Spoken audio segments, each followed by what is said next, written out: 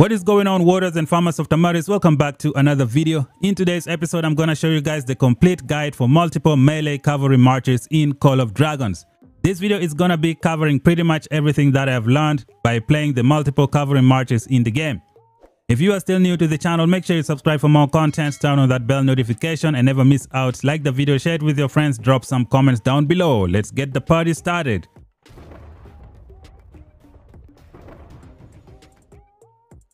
Alright Warriors of Tamaris, this is Season 2 Plus and over the last couple of months, I have spent all my speed up to try and train 1.3 million cavalry to create 5 cavalry marches in the game. Unfortunately, the game developers decided to increase the troop capacity. Right now, I can only make 4 cavalry marches. This video is going to be covering a bunch of different topics, everything that I have learned so far in the last couple of months. We will look at the strength and the, the weaknesses of these multiple cavalry marches, we're going to look at all the artifacts. You're going to see some hidden secrets that you may not have known about multiple cavalry marches in the game. Now, in the future, I plan on switching to the Spring Warden faction to try out Elk Rider marches, maybe four Elk Rider marches, or I could try three Forest Eagles and two Elk Rider marches. But that is going to be in a couple of months from now. In the meantime, if you want to see some Elk Rider gameplay in Call of Dragons, I recommend you check out this YouTuber known as Parvy Sage. He has some good Elk Rider gameplay. He is an expert with Elk Riders. Check out his channel. I'm gonna link his channel in the comment section down below. We shall begin the video by checking out the cavalry take advantage of the unyielding rush in the Call of Dragons. So we're gonna go to the training camp and then see what the unyielding rush is all about. So unyielding rush is divided into two parts. Now the first part says, march speed increases when approaching the target legion.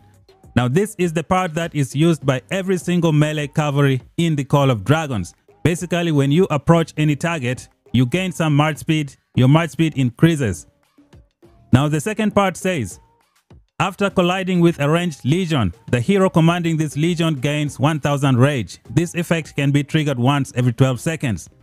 So this is the biggest advantage of the unyielding rush in the Call of Dragons. When you collide with a ranged unit, you get 1000 rage. Now your enemies are gonna be archers, mages, and other elk riders. All the troop types that I just mentioned are ranged units and you are going to get 1000 rage. Now the unyielding rush can have advantages and disadvantages at the same time. The advantage is that you get 1000 rage against range unit and then you just obliterate them on the map. Now the disadvantage is that it is very very difficult to catch up with units that are moving a little bit fast. That is the disadvantage of the unyielding rush. You can also use that as an advantage if you are trying to get away from your enemies. So how does the unyielding rush work? Usually, your cavalry is going to register the location of the enemy. When they get close to that location, their march speed is going to increase. But here is the thing. If you are playing against other cavalry who are moving away, your hero is going to miss out on that location. So you register that location and then the enemy moves and then unyielding rush is going to try to register the next location and the enemy moves again. It's just going to keep you behind all the cavalry that you are trying to chase. So that is the disadvantage of the unyielding rush. You can also use it as an advantage to yourself as you guys are to see in some of my future videos that I'm going to post on the channel. So this is the unyielding rush, has its advantages, has its disadvantages. The advantage is that you just obliterate all the all the ranged units in the game, which is a good thing. Next topic of the video is going to be about the surrounded legion damage bonus in the game of Call of Dragons. When you surround a legion by multiple melee troop type, you get surrounded damage bonus, which is what takes these units to the next level. This is one of the main reasons I decided to create the 4 March cavalry in the game because you can combine the unyielding rush and the surrounded damage bonus to wreck everyone in the game. Now you're gonna see some gameplay towards the end of the video. It's gonna show you the true strength of the unyielding rush and the surrounded damage. So let's continue exploring the surrounded damage in the Call of Dragons. Now when you surround a legion, when you surround an enemy with two legions, you get 2% surrounded damage dealt. When you surround with three legions, you get 5% surrounded damage. When you attack with 4 legions, you get 10% surrounded damage. And if it's 5 legions, you get up to 15% surrounded damage. I think it caps off at 15%. Correct me down below if I am mistaken.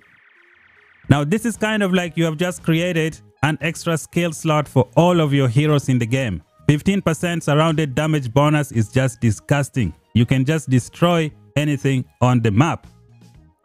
Now your biggest enemies are gonna be other infantry of course because they can interrupt the surrounded damage bonus. So let's go to one of the infantry talent trees and then we see what is going on. So we have Mr. Goresh over here. When we go to the talent tree, we go all the way up here. We have this flank protection. If you take this all the way up to level 5, your legion takes 75% less bonus damage from being surrounded. So it's going to be 75% of the number of legions surrounding you. For example, if 5 legions are surrounding you, 75% of 15%. So that's how it's gonna work. I usually don't recommend anyone take this because if you run multiple cavalry, you will know to never ever attack an infantry. And in the open field most of the time, you are not attacked by cavalry. So it's better to go with something like encouraging dance, which is gonna give you lots of rage and help you cycle the Goresh rage skill more often. So this is something that you need to look out for. When you are running multiple cavalry marches, you should try and avoid infantry at all costs, especially Goresh and Skogul. These two combined together will destroy your multiple cavalry marches. As soon as you see them, you make a U-turn and you run for the hills. The next topic of the video is gonna be the march speed in the Call of Dragons, which is the most important talent or skills that you should pick for your multiple cavalry in the game. March speed is absolutely important, you don't want to miss out on that. So I'm gonna bring out four marches just to explain the importance of march speed. So when you're fighting with your when you're fighting your enemy with your four cavalry marches, sometimes the enemy tends to move away. Now when the enemy moves away, one of your legions is kind of gonna fall behind, especially if another enemy has put a negative speed debuff on your legion. Now you're gonna have like only three of your legion fighting the enemy and your surrounded damage bonus has fallen off all the way down to 5% instead of the 10% with the four marches. So this march is gonna try to catch up, but if you have enough speed, you can negate any negative speeds put on your heroes. Now, it is important to build melee cavalry with march speed because if you're not moving fast enough, the melee cavalry combat distance is very, very small. It's gonna make your deputy not cast their rage skill because the enemy has moved out of your distance. So having march speed is absolutely important. Now all my cavalry move with a march speed of 64%. I have found that to be very, very useful for me because it allows me to maintain the pressure on my enemy and keep the 10% surrounded damage bonus dealt. Now I'm going to show you this artifact here which you can use with your cavalry, this springbird feather right here. Now if you look at the skills, it says your friendly legion marches get some march speed as well. Sometimes you have heroes like Waldyr who can hit you with a negative speed debuff so when you hit the springbird feather, it kind of removes all the negative debuffs placed on all your heroes. Now being fast enough can also make you not miss any rage skill for your deputy commanders, especially if your enemy moves away. So march speed is hands down the most important for the multiple cavalry marches in the game. Now when we go to the talent tree of the mobility, you're going to see that there are some awesome march speed talents in the game. Now, a lot of people don't know why the game developers put this, so maybe today I help explain them. So you see the skills, when your legion launches a normal attack, they have a 10% chance to gain haste, increasing their march speed by I believe 30% if you take this to level 5. So when you fight your enemies, you have people like Velyn and Waldyr, they can really slow you down significantly, making you not be able to catch up with any enemy that is moving. So when you have this skill with you, you can remove any negative speed debuff and maintain the pressure on your enemy. I believe there is another one somewhere here where you gain haste. Is it this one? Yup, here, when casting rage skill, your legion gains haste, increasing their march speed by 3% for 3 seconds. This is gonna help you keep the pressure. Any enemy that is trying to get away from you, well, you have the march speed to catch up with them, maintain the pressure, maintain constant surrounded damage. The march speed, most important skill of melee cavalry combat in the game. The artifacts that we have in the game are the best complementary elements for your cavalry marches in the game. The most important one for you is going to be the blink artifact in the Call of Dragons. Now because of the march speed problem in the game as I just explained, your enemies kind of move away. When you have the blink artifact, you can eliminate that problem.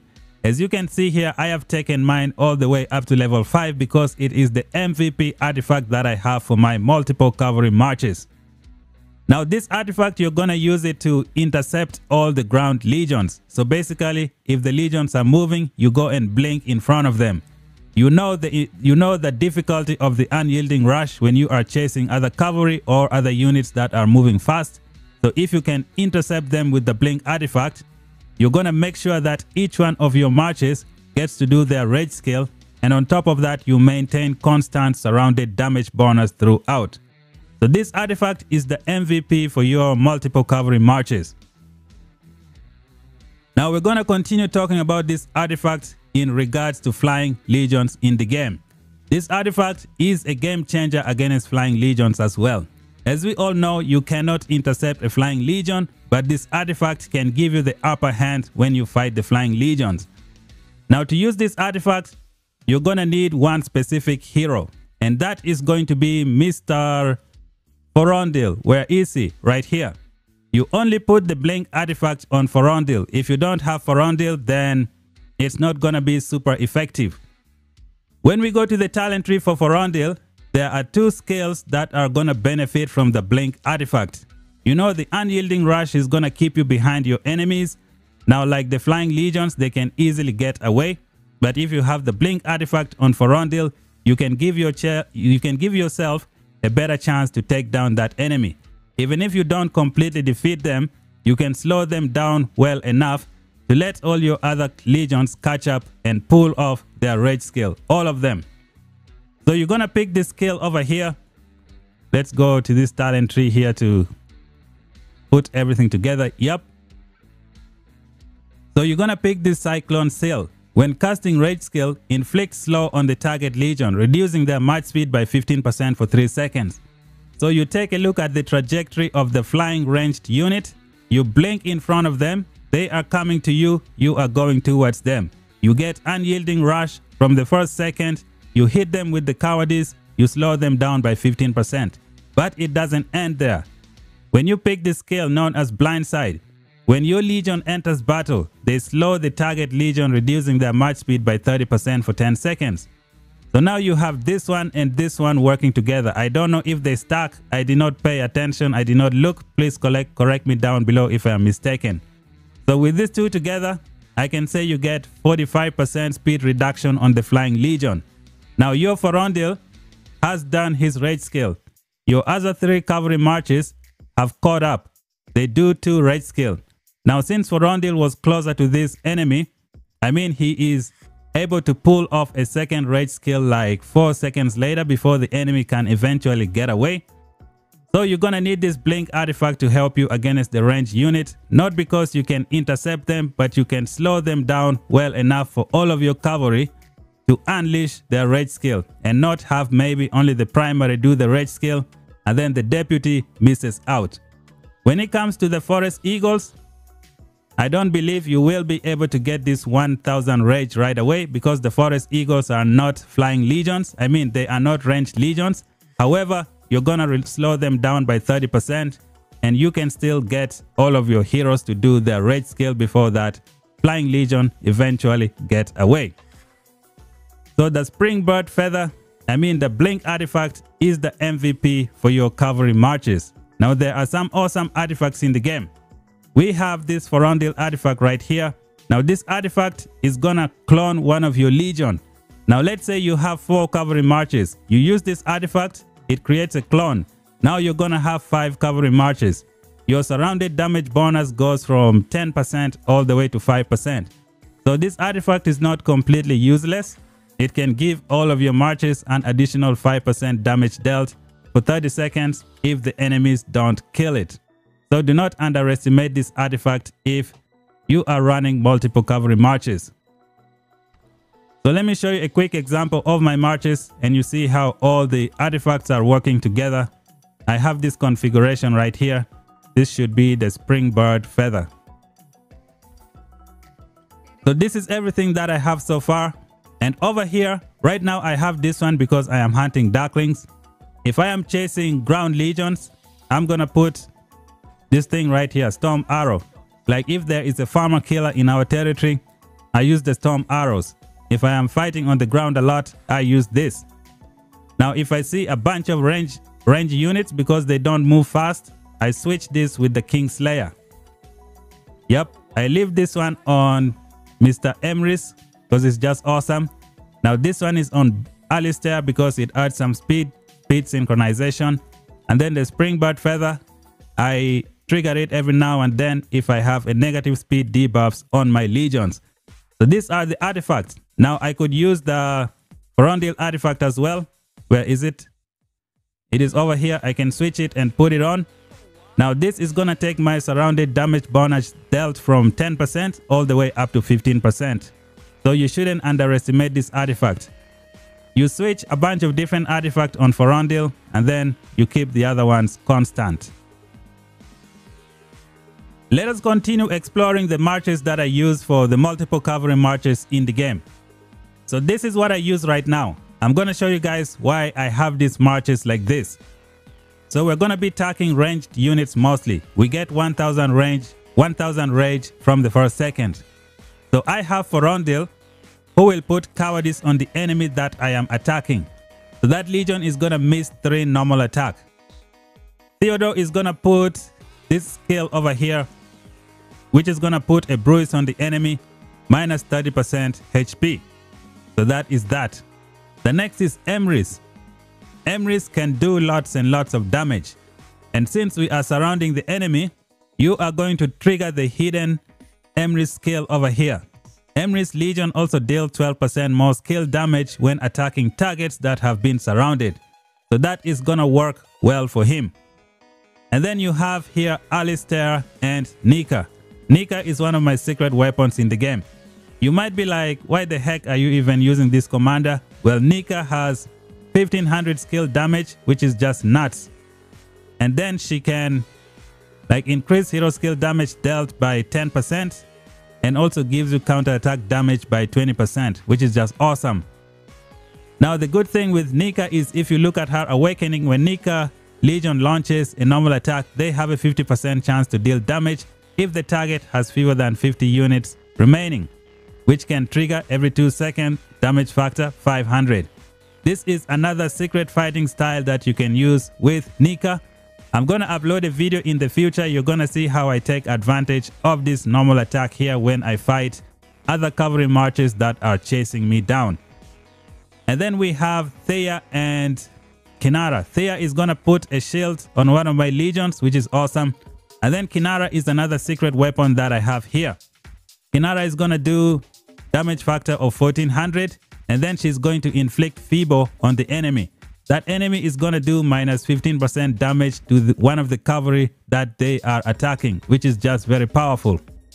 And then the awakening skill of Kinara also makes it so that she can put a defense break on the target, reducing defense by 20% and also reducing their march speed, making it easy for all my heroes to maintain 10% surrounded damage bonus dealt and keep the pressure on the enemy and prevent them from not getting away.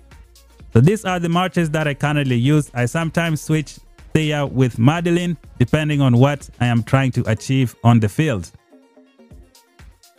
Let us check out some talent trees and march speed synchronization for your cavalry heroes in the game. Make sure you synchronize all your cavalry to move at the same speed, that way they can attack at the same time and get the unyielding rush surrounded damage bonus, maintain the pressure, and not miss out on a skill damage because the enemy has moved away from you. So you should find a reference point for all of your marches. So mine was Mr. Emrys right here. As you can see here, I have a cavalry march speed bonus of 8%.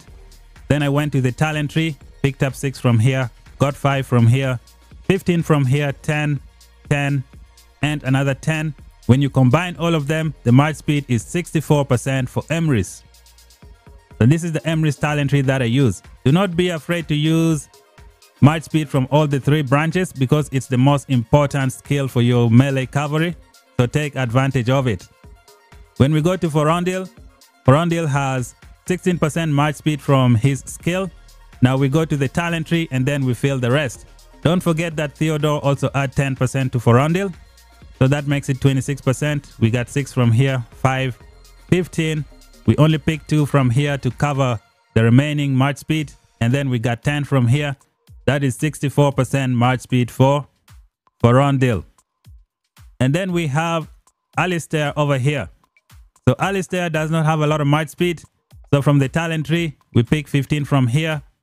And then if you look over here, there is a reduction of 2% march speed. So you have to take that into consideration. So we come over here, we get 10.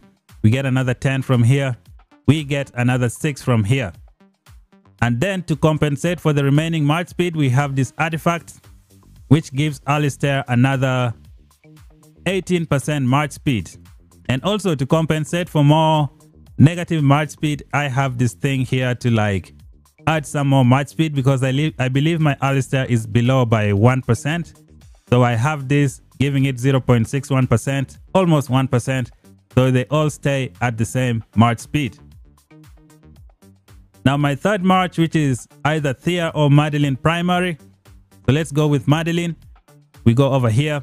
In the talent tree, I pick 6 from here. I get 10 from here.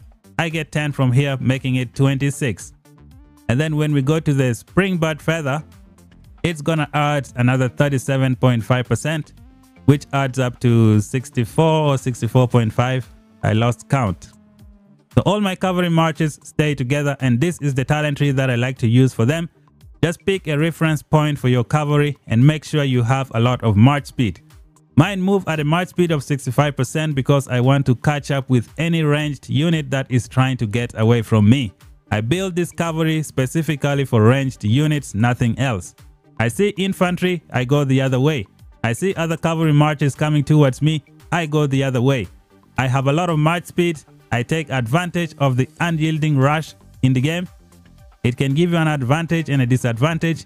If anyone is chasing you, you can run away without them catching up they have to intercept you from the front. So I value march speed more than anything for melee cavalry in the game. Warped are a good addition to your multiple cavalry marches in the game. You can use a bunch of different types. Because right now I was thinking of using like 4 sand lizards to give me 4 times the healing. Imagine, get, imagine getting 2 star sand lizard 4 times and then using all four of them on your melee cavalry, the healing is going to be insane. You can use up to four golden rock so that you generate rage very, very fast. You can also provide some healing for yourself, gain even more rage, and do some crazy damage on the field. You can also use the venomous lizard if you like. There are so many options for you to use in terms of Warped. You have the Berserker Frederick that you can use for your Forondil. And then for your Emrys, you go with the Golden Rock. And then the rest, you use Golden Rock as well. Or you can go with some crazy healing with the 4 Sand Lizard. That's going to look awesome. You can also use the Snow Peak Rock on your Thea and Kinara if that's what you're rocking on the open field. That should work really, really well. The good thing with Discovery is that you are trying to take advantage of the unyielding rush.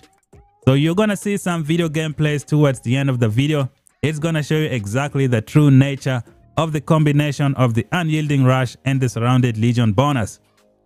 And to add something about march speed in the Call of Dragons, the faster you move, the easier it is for all of your legions to do their rage skill because you will be able to close the distance very very fast. You don't miss out on any rage skill, especially when the enemy moves away from you.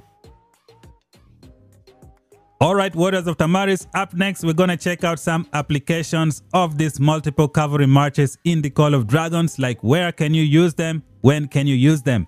I personally think that this is the best decision that I have made for my account in Call of Dragons. I have no regrets whatsoever for training this four March cavalry. I am very very happy with what I got. Now your number one mission is to use surrounded damage and unyielding rush to destroy ranged units. Now your menu is gonna consist of archers, mages and elk riders. Those are the people that you try to kill. If you see maybe another one cavalry running around, then you can try and kill that cavalry. You stay away from infantry at all costs because it is a waste of your time.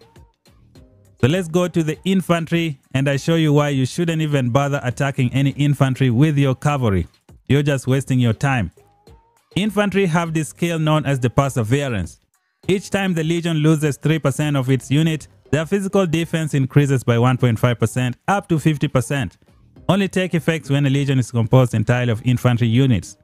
Well, guess what? Cavalry use physical attack. So when you attack an infantry, you go very close and they just get stronger every second. So you don't want to waste your time fighting any infantry with multiple cavalry marches. That infantry might also have the flank protection, which can work against your multiple cavalry. And guess what? You could be attacking a Goresh and a Skogul, which is the worst thing you should ever do for your multiple cavalry marches. Continuing with the application of the multiple cavalry marches, it is very very good at completing PvE events like killing Darklings on the map. I don't take time completing PvE events in the game. I can burn all my CP within no time. I can launch one rally and then send all my other three cavalry to join different rallies in the game. I can take advantage of the negative CP in the game. For instance, if my CP is like 5 remaining, I launch one rally and then I send all my other 3 or 4 cavalry to join four different rallies and I like take advantage of the negative CP in the game. Now in Roots of War, multiple cavalry marches is excellent. You can use it to swarm buildings. You don't need to launch a rally on anything. You just come out and you swarm that building by that self. In Roots of War, every second counts. You could lose the war with just one point. But if you have multiple cavalry, you don't need to wait for any rally. You just go there by yourself and get the job done. Now what else can you do with your cavalry? You can act as the policeman of your alliance. If there is a farmer killer coming in your territory, well guess what? You don't need any help. You bring your cavalry, you go by yourself and you take them out. Now in the open field when your enemies are retreating, guess what? You bring this cavalry, you annihilate each one you see on the map. They have no chance. The ambush with this cavalry is next level crazy. And I'm gonna show you guys a few video clips towards the end of the video. And this, ladies and gentlemen, is everything that I have learned about melee cavalry in the Call of Dragons. I have no regrets whatsoever. I think it's the best decision I have ever done for my account in the game. Now, I went out of my way to train this cavalry, to do experiments and bring you guys the findings, and I have done it so far. Make sure you subscribe to the channel, you like it for the YouTube algorithm, share it with your friends who might find this very, very useful. Like I said in the introduction, in the near future, I'm going to be switching to the Spring Warden to test out different cavalry composition. I will do that experiment and show you guys the videos.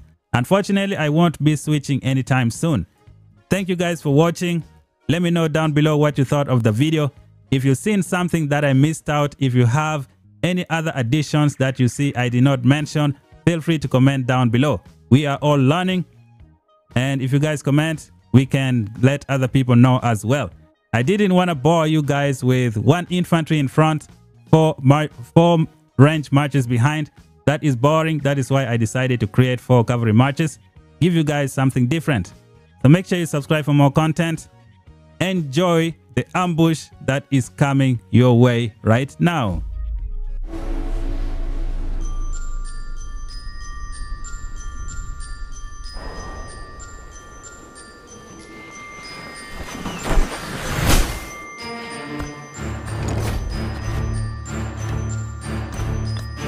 Rise above, conquer below.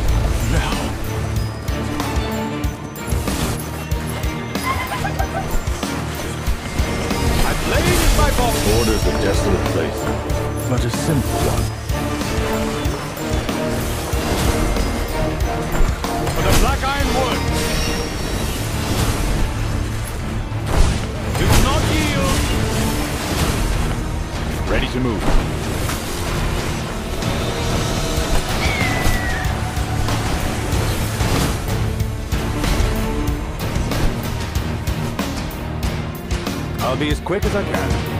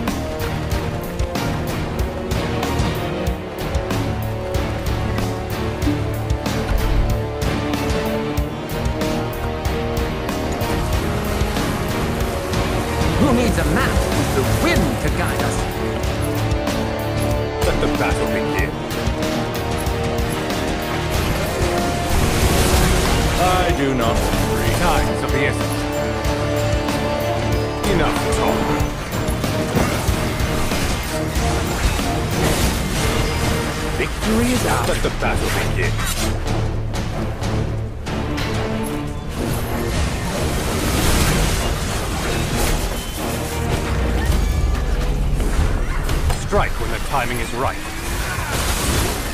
All part of a knight's duty. Enough talk.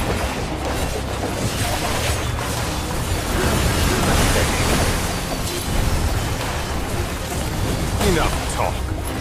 Victory is ours. Strike when the timing is right.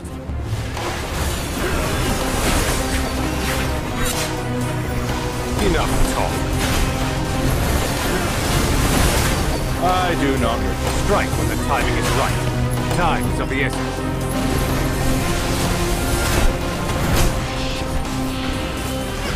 Victory is ours. Strike when the timing is right.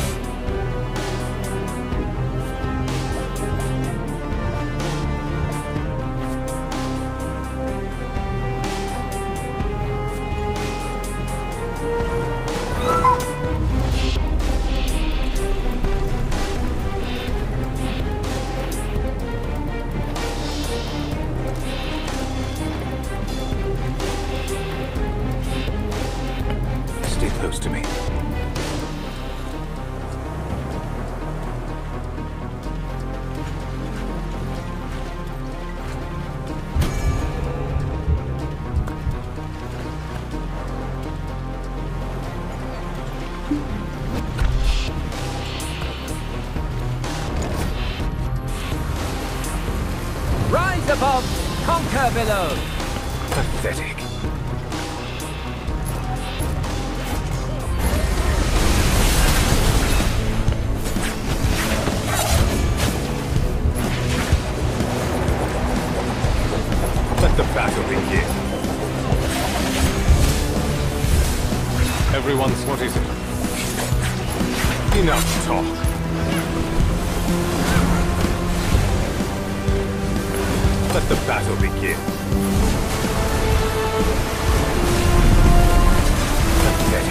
Threat eliminated. Let the battle begin.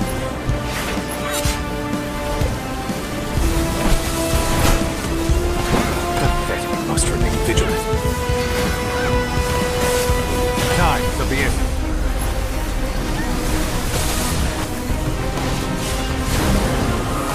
Enough threat eliminated.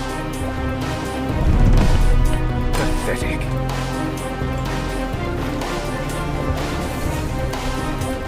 I will not falter.